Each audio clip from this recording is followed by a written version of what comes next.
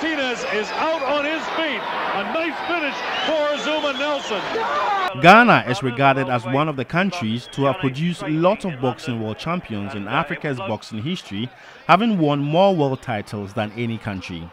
It began with David Kotei Poison in 1975, followed by Azumah Nelson in 1984, who went ahead and ruled his division for over 10 years, becoming Hall of Famer. Yet, it was only until recently that the country had a place befitting a world-class arena dedicated for boxing.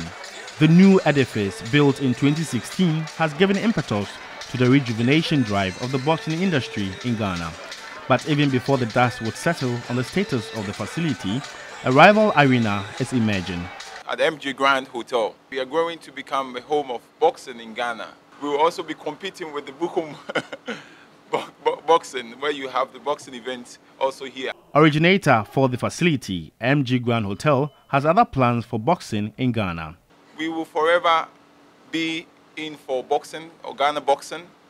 And then we also treat that looking forward, I'm sure in future, very soon, you will see that and we are fully in support of boxing. Consultant to the Ghana Boxing Authority, Moses Fuamwini, is delighted over the development. We're so proud of you. In fact, they're building a huge auditorium, 2,000 seater capacity. So they're hoping to be hosting boxing events, just as you have been seeing in Las Vegas. He called on corporate bodies and other entities to support in promoting boxing to ensure Ghana produces more world champions.